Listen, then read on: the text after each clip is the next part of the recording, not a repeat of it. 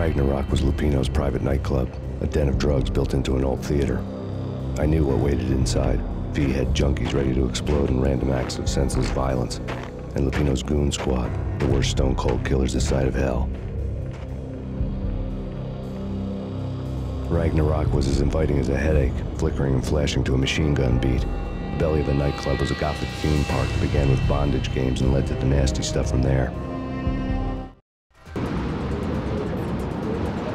As subtle with its dark message as a cop killer bullet through the heart, like father, like son, just like Jack Lupino.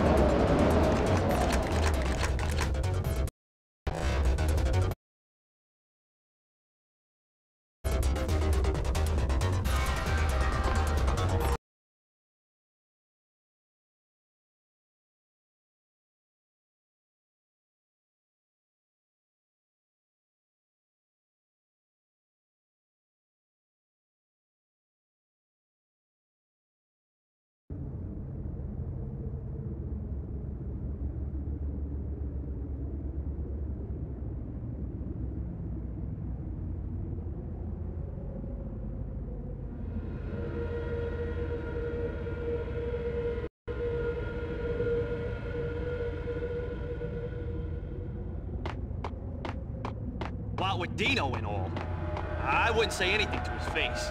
He might not... Who knows what he'd do? Yeah, but somebody's gotta go in there. It's too freaky.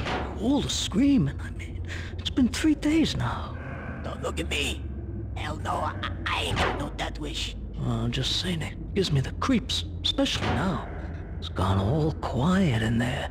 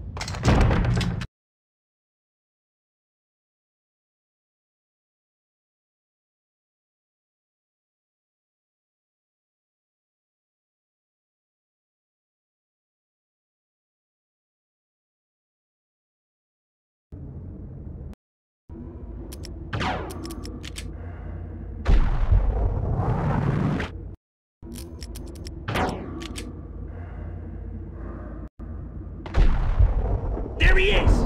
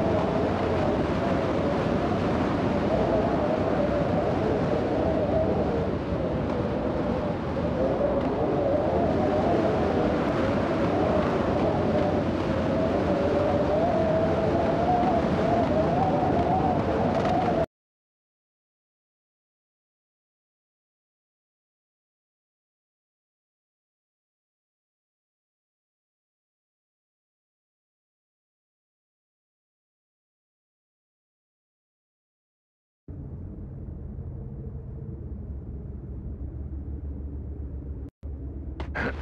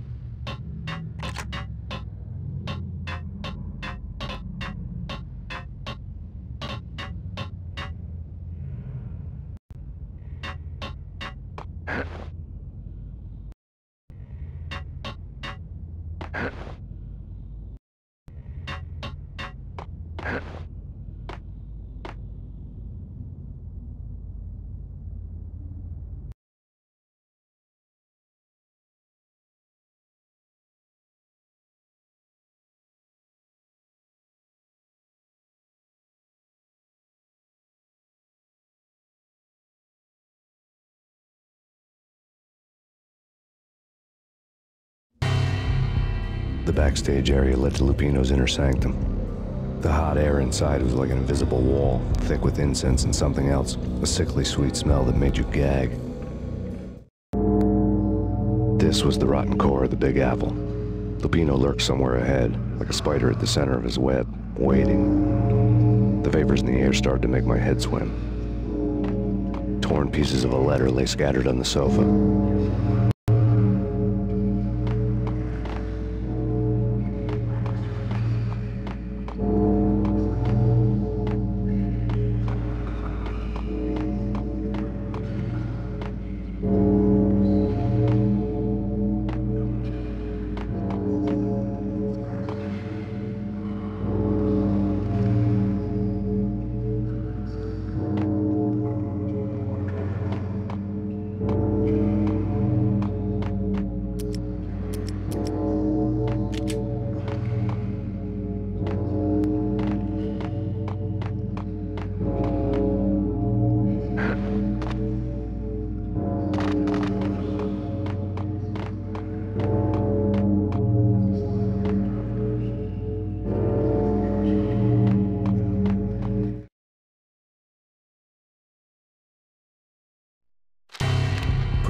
Threatened Lupino in writing.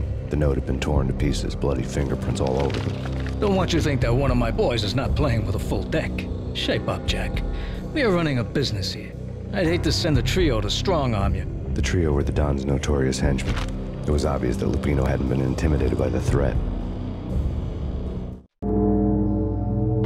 Lupino's notes covered the table.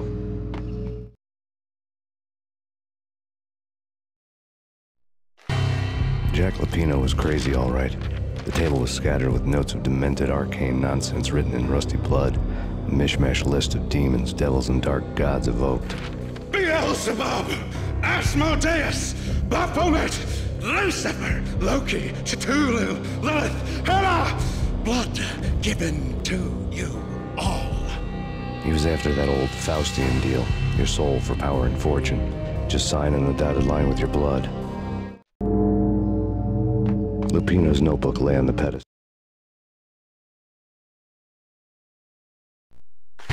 Jack Lupino was crazy, all right. Mythic wolves, let loose to devour the sun and the moon. Lupino is the wolf. I'm Mr. Beast, the big bad Fenris wolf. I'm the end of the world man, wearing the flesh of fallen angels. After Y2K, the end of the world had become a cliche. But who was I to talk? A brooding underdog avenger alone against an empire of evil, out to right a grave injustice. Everything was subjective. There were only personal apocalypses. Nothing is a cliche when it's happening to you.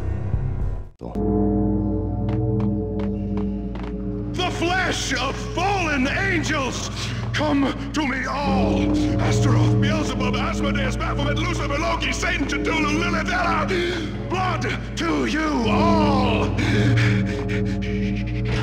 Secret, living under the skin of reality. I've seen it, the corruption of flesh.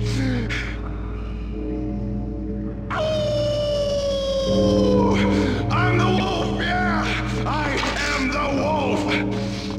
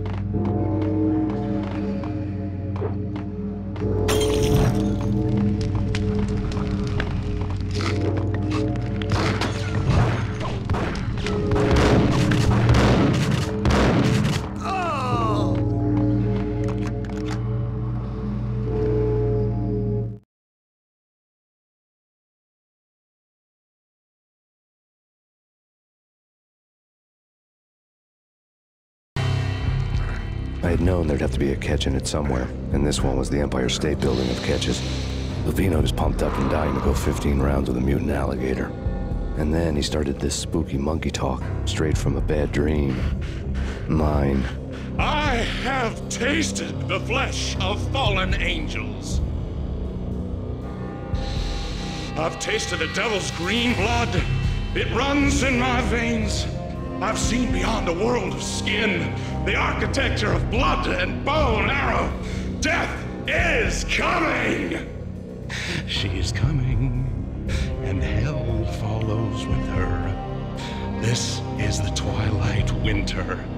I am ready to be her son. Her time is now, and all who stand in her way must die!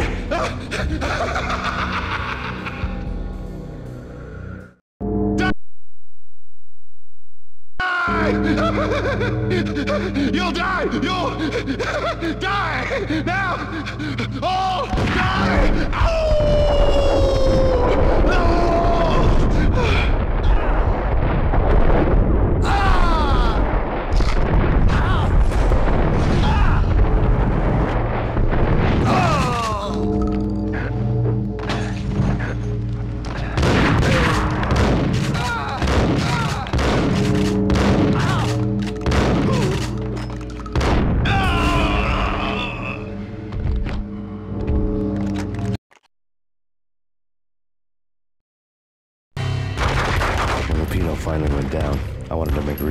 stay that way.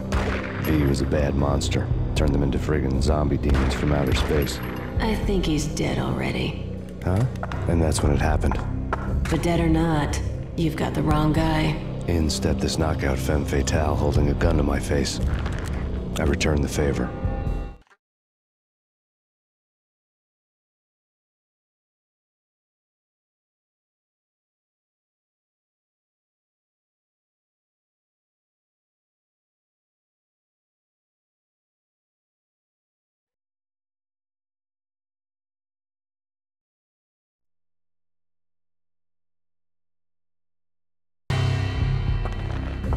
Punchinello. Lisa Punchinello was the Don's wife. Mona Sachs. Lisa's evil twin. Your safety's off, evil twin. You might hurt someone with that gun of yours. Lisa's the damsel in distress. I'm the professional. I'd blow you away without batting an eye. Sure, and you can check out my credentials splattered all over this joint.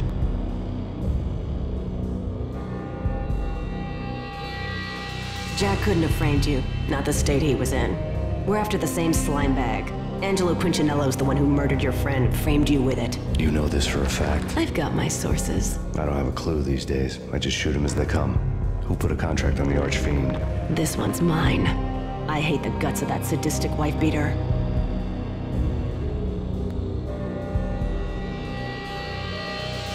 Why not pool our bullets for this one? I thought you'd never ask. My finger was starting to twitch. How do you like your whiskey?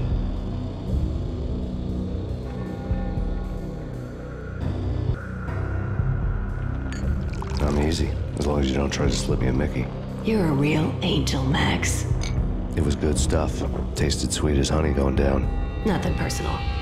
Can't risk you going berserk and getting Lisa killed.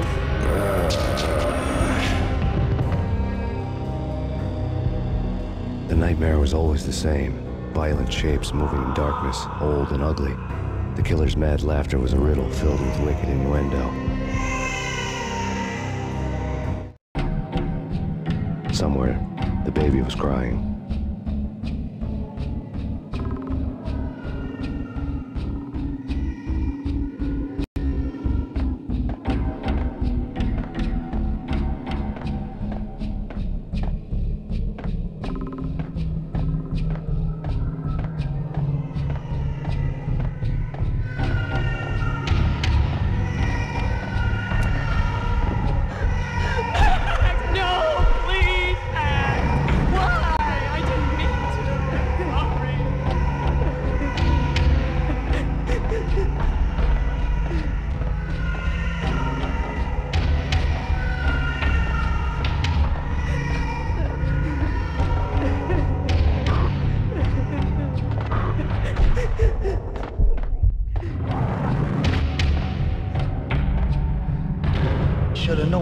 Found you snoring next to Lupino's corpse.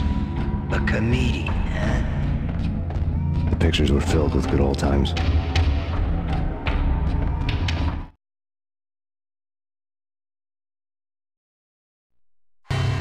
Alex and I had a few moments of glory between us. Crime fighting comrades, the best in NYPD DEA collaborative team. Good hearted macho bullshit like that. I would have given anything to have him here as my backup. No such luck. No luck at all. Michelle looked at me from the photo. The Payne family. Happiness captured in a Polaroid moment. I had thought it would last forever, till death do us part. I didn't want to think about it. As long as I didn't, it could never happen. But I had broken my own rule. The thought had already slipped in. Fear was rusty needles poking at my brain. Cold and scaly, it slithered down my chest.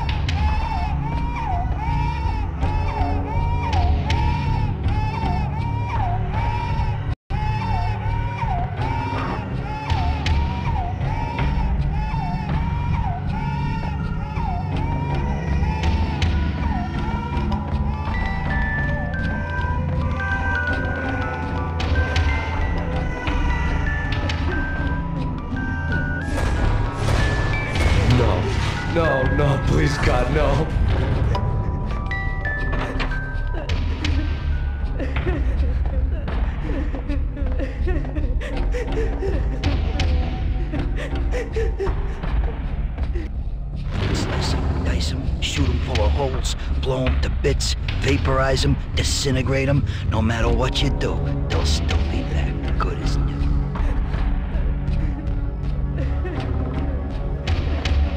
Michelle's diary lay on the table.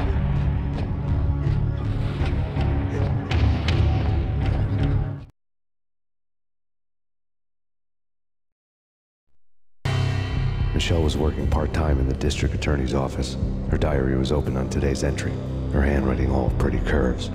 An army dossier found its way to my desk yesterday. Valhalla? Isn't that a Norse myth? Something about Vikings? I tried to tell Max about it, but he was busy, that cute frown on his brow. Guess it's nothing, just a mix-up at the courier service. From now on, I would always find time for her. It was a hollow promise. Too little, too late.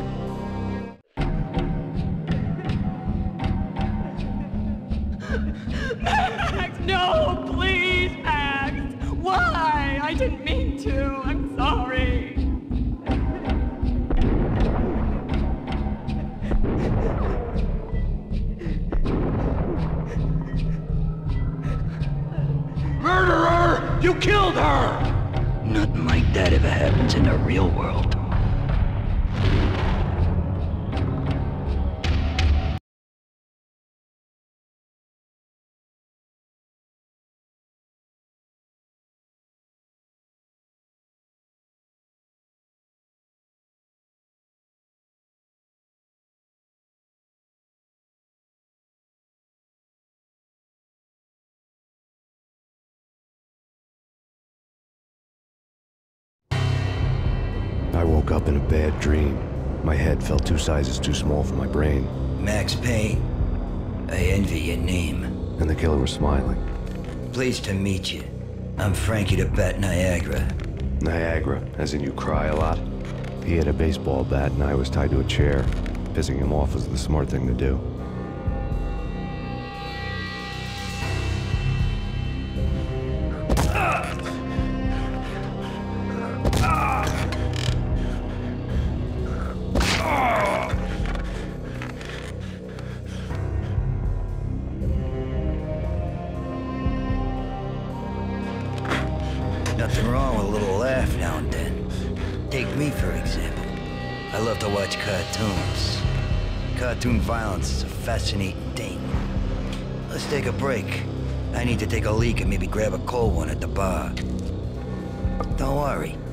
Be back to finish this off.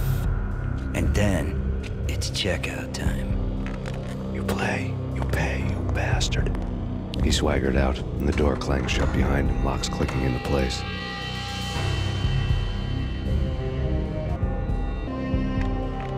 Everyone makes mistakes. Mine hadn't been to crack jokes about the goon with the bat. He'd have cracked my skull regardless.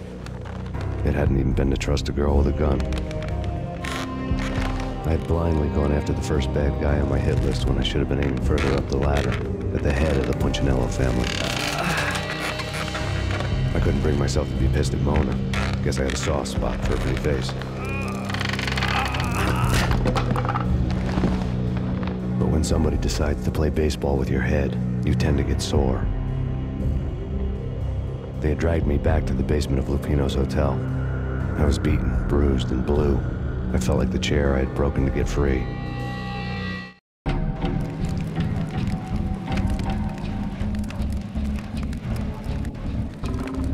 All I had was Niagara's bat, sticky with my own blood.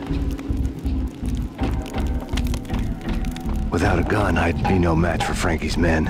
I'd have to play hide and seek with them.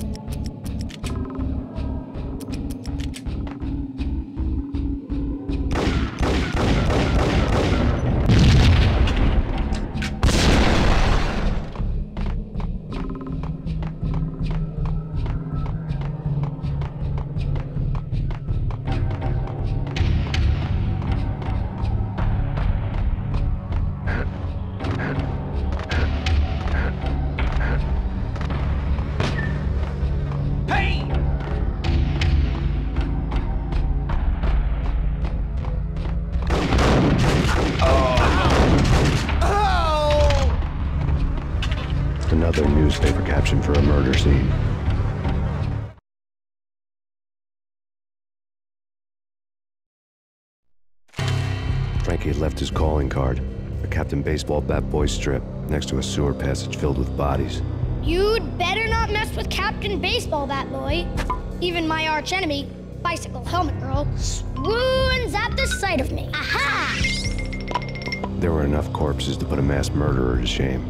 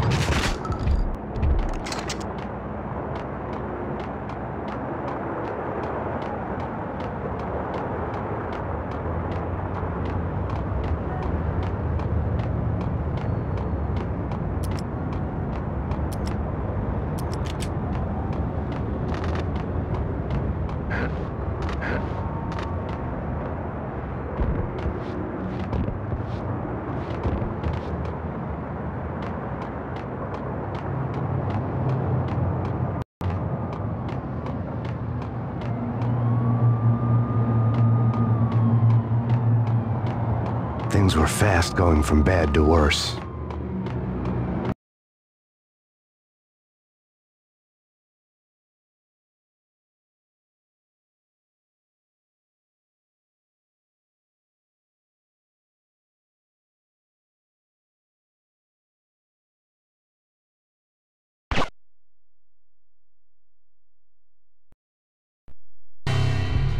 The men in blue had come and gone.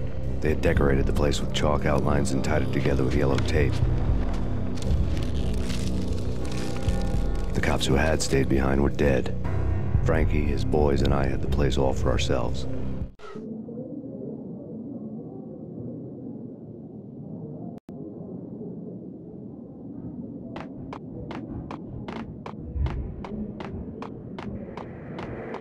Just forget about it.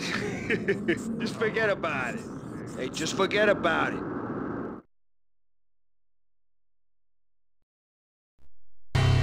That crazy witch, you should have heard her. She was a real scream when the boys caught her trying to cap the Don. Oh, that's friggin' bad. To the trio? That's even worse than what Frankie's doing to that poor bastard downstairs. She's gonna take a long time to die. The mobster muscle on the phone was talking about Mona. Punchinello's trio were nothing but bad news.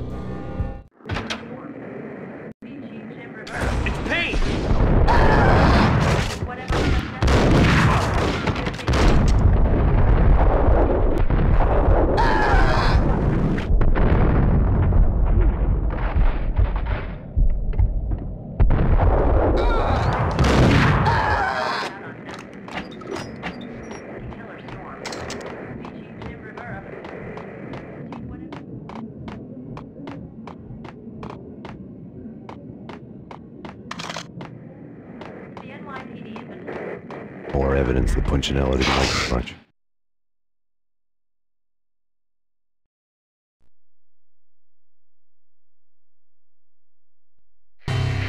The fact remains that all the victims so far identified in the Ragna Rock shooting have been known criminals, many of whom had large doses of V in their blood. Reliable sources say that Max Payne was also among those killed, although no body has been recovered at this time. Reliable sources. That meant somebody thought the Mafia had me, didn't want the cops snooping around anymore. The body would be delivered to them barely recognizable. Case closed. Don Punchinello had the power to be that reliable source, which was no news. But his news was old news. Framing me hadn't been enough. Don Punchinello had put a hit on me. He wanted me dead, and it had been important enough for him to give written instructions to Frankie about it. Max Payne should die like a dog for the trouble he's caused. Frankie, I know I can trust you to give this matter the dedication it needs.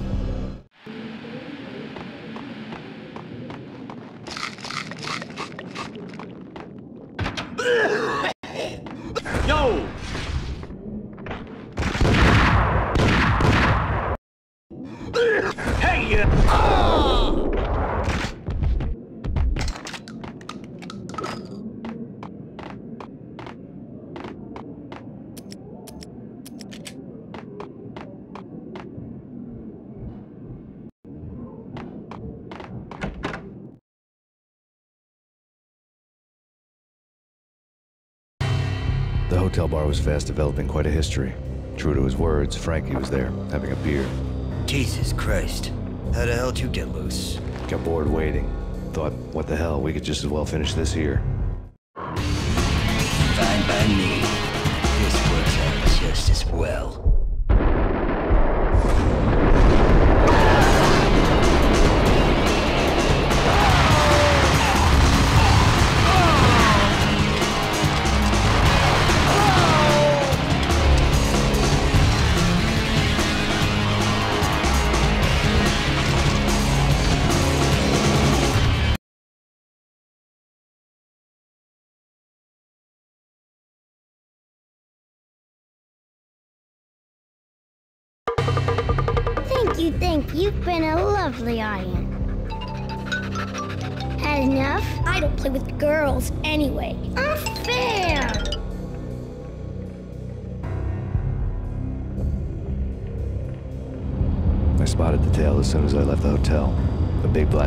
Mercedes. I'd seen the car before. That time it had heralded impressive explosions. Vladimir was back. Bang. You're dead, Max Payne. I might have laughed if I remembered how. What's this supposed to be? Cops and robbers? Look, you want something with me? Get in line. Peace, man. Relax. You know you are a real news item. Armed and dangerous. I am going to make you an offer you can't refuse. I've always wanted to say that. It's a bum rap. I've been framed. Well, that's a moot point. Whatever you did or did not do, I'm sure you had good reason for doing it. Want to hear me out? I'm listening.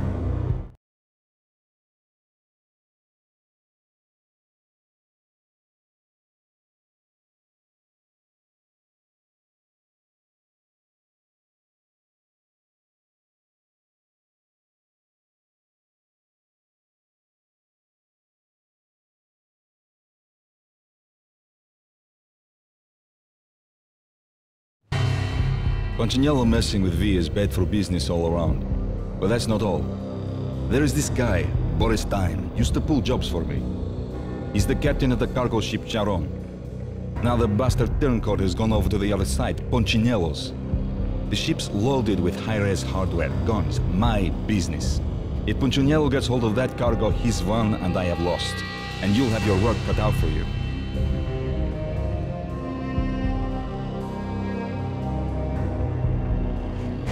If you want to get to Punchinello, you need heavy-duty persuaders. I am just the man to get them for you.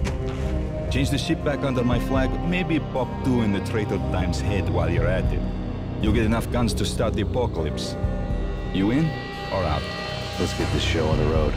Vladimir was one of those old-time bad guys with honor and morals, which made him almost one of the good guys. None of us was a saint. Brooklyn riverfront was a maze of rusty containers, sharp-boned cranes looming up from the snowstorm. On a night like this, you couldn't help but think of the dark army of dead men sleeping with the fishes, cement shoes in line.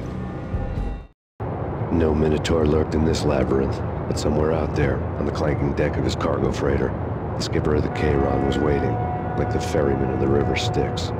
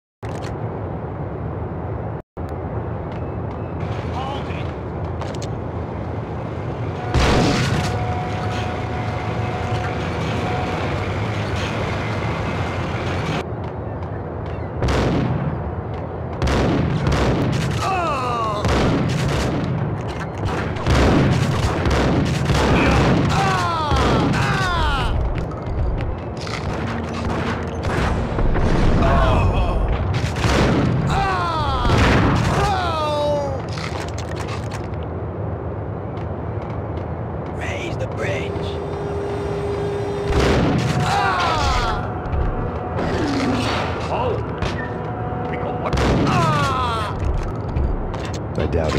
receipt.